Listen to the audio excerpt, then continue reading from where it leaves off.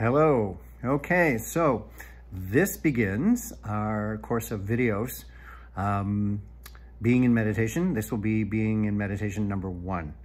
And the idea behind the beginning meditation group, um, for those of you who are involved in the Facebook group, or those of you who may be watching this channel individually, is creating um, a series of videos for people who've never meditated before, but who are interested in beginning. So we're going to start with the very first, very first steps of meditation. And one of the prime ingredients of meditation, one of the prime, the, the cornerstone of meditation is the breath. The breath is um, intimately linked with the mind.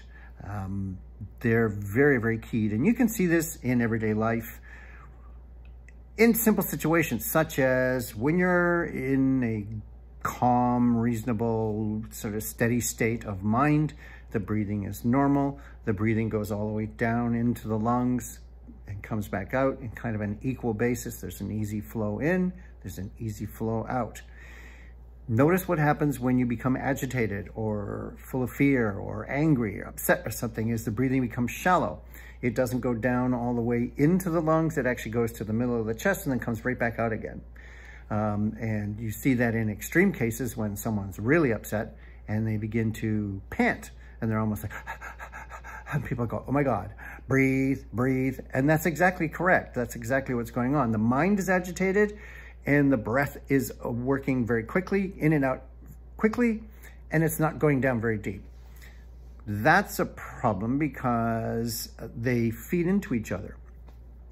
And if the mind is agitated, the breath follows. If the breath becomes agitated, the mind becomes agitated. They're intimately linked with each other. Often, some people, when they get to that agitated state, um, pass out. Um, and that's because when you're breathing shallowly, the rest of the lungs, you're probably only bringing it down the air into the bronchial tubes and you're not really getting it much into the lungs. You're getting some, but you're not getting very much. So the blood becomes a little starved for oxygen. So when we're angry and we're upset, we're actually suffocating ourselves. We're, we're in a, in a simple and direct way, yeah, we're suffocating ourselves because we're not getting enough oxygen. Um, that doesn't lead to clear thinking. That doesn't lead to a healthy body. That doesn't lead to healthy oxygen levels in the blood. That makes the body more panicked. The body's not getting oxygen. It becomes more frightened. The body becomes more frightened. The breathing becomes more shallow and it becomes this vicious circle until one something breaks it. And in some, in some cases, it's people actually passing out or freaking out. And the, the freak out thing is a way to try to assert some kind of control over of the situation because you feel like you're losing or have lost control. So in either case, or any case, it's not healthy and it's not working very well. Um, when someone is in, in an extreme state of calm, um, not so, probably a stronger word, that word extreme is probably a little strong, if somebody's in a really deep state of calm, you're standing by a lake shore and you're, the, the air has settled down for the evening, it's sunset time and the lake is flat like glass and there's a slight breeze and so on. And You're looking across the lake at, the, at a big red sun going down, something like that. Standing in the mountains somewhere, looking out across the valley and so on. Uh, anything like this where there's a, a, really beautiful sense of connection with nature and a sense of calm. The breath is very slow and very calm and it goes deep and so on. And often you find yourself sighing in those kinds of situations. There's a deep kind of... And that's the body getting rid of some pent up tension and so on. But it also helps the mind to calm. So breath and mind are, as I said, intimately linked. And this is why breathing is the foundation of meditation. So if you're thinking about meditating, you're wanting to learn meditation, we're going to start with some facts about breath and why it's so important to breathe in a proper manner and why it is important to breathe, which means to breathe deeply, to fill the lungs completely and to release it slowly. Um, some important facts about breath in terms of how much we need it uh, compared to some of the other things that we need, such as food and water. The body can survive roughly about 30 days without food. It can survive roughly three weeks without water. We will only survive three minutes, three minutes without oxygen. So it's interesting that the denser, heavier things we need less of, or it takes longer for us to reach a critical point if we don't get it, we don't have it. If water is in the middle, you need water, but you can last up to three weeks without water, which seems pretty extreme, but it, I, I, I looked this up. And only three minutes. If you stop, that's why if, um, someone who's choking, you have to get to them very quickly. Um, because in three minutes, the brain will, will, will, will die in three minutes without oxygen. So an interesting fact to consider. The breath is more important. We think of it much less important than food or water, but it's exactly the reverse of what we think. We think that we need food first, water, and breathing is just this thing. For most of us, it's an unconscious thing. And this is the point about meditation is you're actually becoming conscious breathers. You're learning how to breathe consciously. This has enormous effects and benefits further on down the line when you're learning meditation and some of the more uh, advanced levels of meditation because no matter how far up the ladder you go in terms of um, advanced forms of meditation, the breath is the foundation.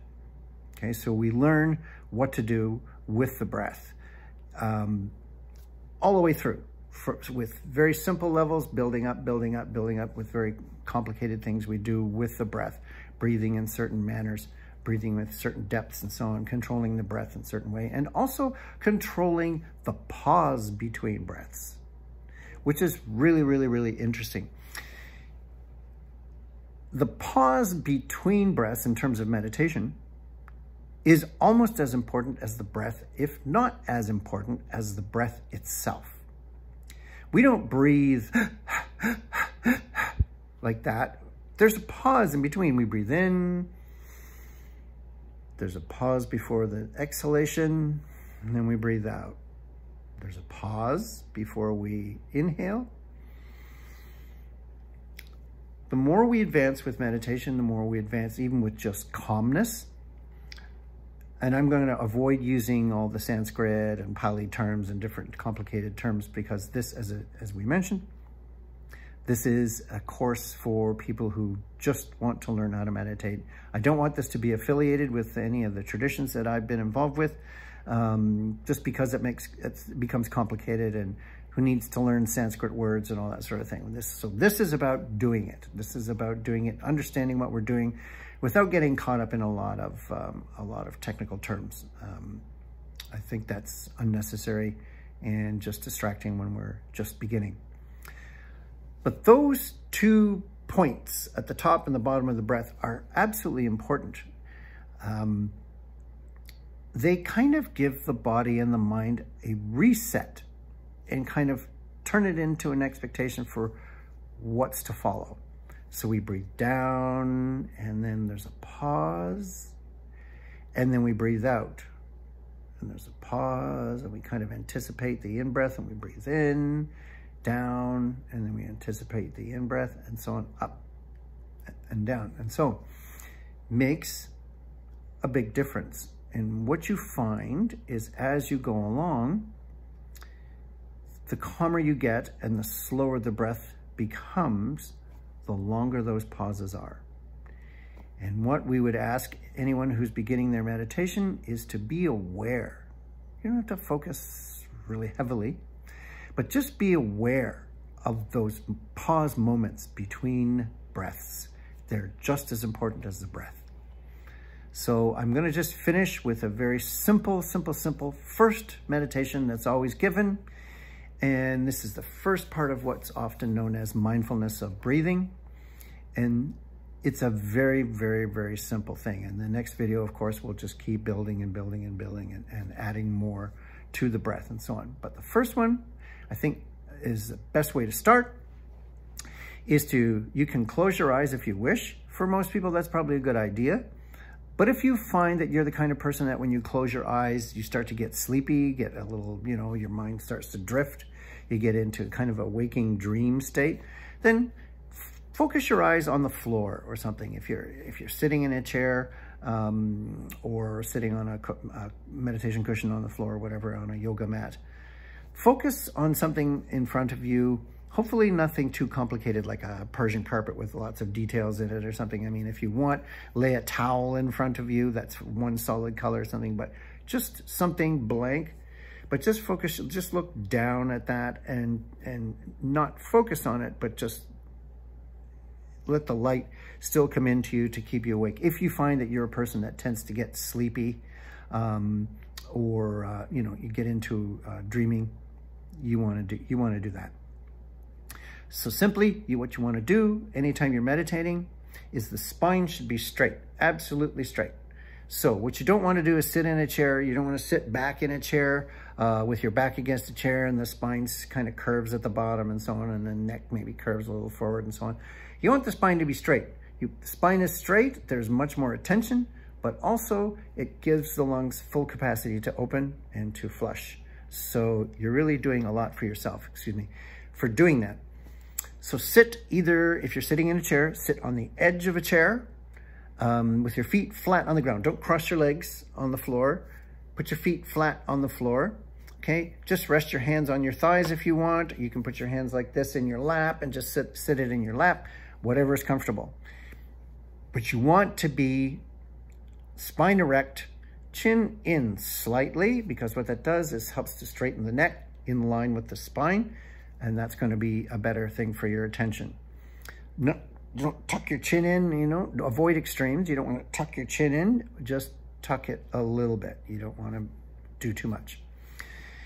And then, as I said, close your eyes or just stare ahead of you at something that's that's blank uh, sheet of paper, blank, some, something that's not going to like get your mind thinking, oh, that's pretty pattern. Oh, look at those colors there. What you know, the mind does that. The mind loves to comment on everything that it sees, and you'll be you'll become more and more aware of the mind's um, constant commentary. It's kind of like a sportscaster who's giving you play-by-play -play all the time. It's like you're seeing it, but this guy wants, still wants to keep talking about it. So you want you you want to get the commentator to be quiet.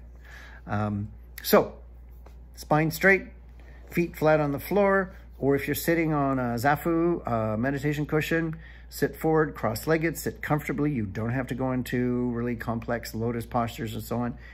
If you can, great. If you're someone that's studied yoga and you're used to sitting in those positions, fine. But you don't need to. You can sit on a chair or a couch, but sit on the edge because we don't want to get into that sitting back thing, as I mentioned. Hands on your lap, hands on your thighs, do what you want with your eyes, whatever works better for you, experiment, see what works better. See if the eyes closed works better or whether the uh, eyes open works better. I suggest eyes closed, but um, bear in mind what we talked about in terms of um, if you're a kind of person that maybe gets um, too dreamy, too sleepy, too dull. Um, and you have want to avoid that because dull dullness is not meditation. It, it's, it's going to sleep. So here we go. All you do is focus on the air, the sensation of the air going in and out of your nostrils. That's it. So just breathe in normally. Pause. And breathe out. All you're looking at is just focus the mind on the sensation of the breath at the nostrils. And just focus on it. The mind wanders, just bring it back. The mind wanders, bring it back.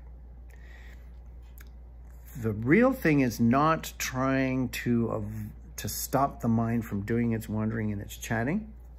The real thing is noticing that the mind is chattering or wandering off.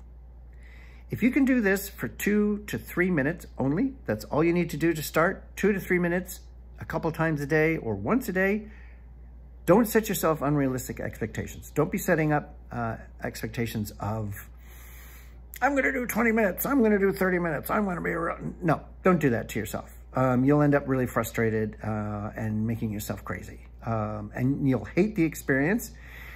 And if we start to hate meditation when we're starting, uh, you're not going to sit. You're not going to do it. You won't want to do it. So you want it to be comfortable you are having a great amount of success if you notice that the mind has wandered off. And that's really key, that you've noticed it instead of actually getting caught up in it and being dragged off by it. If you notice that the mind is wandering, you're doing really good. That's actually really good meditation. It really is. So um, try that. Uh, see how that goes. Uh, try that maybe one, two, three minutes a day, once a day, you want to make it pleasant. Try and do your meditation in the same place every day, uh, same place in your home. Uh, find a comfortable spot, uh, a spot that's clean, um, that's avoiding a lot of direct light. Uh, you don't want it to be too dark, um, but you don't want light shining in your eyes. Preferably, for reasons which I'll explain later, face east it's actually a better meditation experience if you face east. It has to do with the electromagnetism and the, the way the planet spins and the way things, electromagnetic fields move as the earth is spinning. When you face east, you're actually facing into it and it actually is better for the concentration of the mind, believe it or not. But try it in other directions, you will see that it's a different experience than if you don't face east. So Find a comfortable spot, make sure it's clean, do the same spot every day, a, a nice safe place. Um, try not to do it in the bedroom where the mind is associating the room with sleep. So, because you might have a dull experience when you do that. But if you can't, if there's no other way, then just do that. Just then make that spot in the bedroom that you're doing it in or wherever, in the living room, in the kitchen, whatever. Just make that spot, trying to think of that spot as that's your meditation spot. That's where you do it, okay? And try it, do it the same way every time. So if you're sitting in a chair, sit in a chair. If you're gonna sit on the floor, sit on the floor. So that you build up less distraction by trying to figure out, what's a novel place where I can go do it? Don't do that. Find the same spot every day, the, the, the less you distract the mind with details and so on, um, the better it's going to be. So again, just feeling the air coming in and out of the nostrils. If you focus on that, you will find the mind will calm. Just getting the mind to slow down and getting the breath to slow down because if you slow down the breath, you will slow down the mind. Don't worry so much about the mind. It's easier to control the breath than it is to control the mind. The mind's nature is to think, let it do its job. But you can kind of, there's a way to control it without controlling it. And that's by controlling the breath. And that's the secret. And that's the secret to all meditation, whether you're just beginning with this mindfulness of breathing at the nostrils or whether you're doing some really advanced high level meditation. So let's start with that. And the next video, we'll be talking about extending this breathing. And um, so it's going to be breathing for a little while because as I said, that's the foundation. You build a firm, firm, firm foundation. Um, you're going to be able to erect a very beautiful and very strong and beautiful, powerful structure after. So try that out and we'll see you next time. Good luck with it. Okay, any questions, you can fire them at me through the usual channels. All right, take care.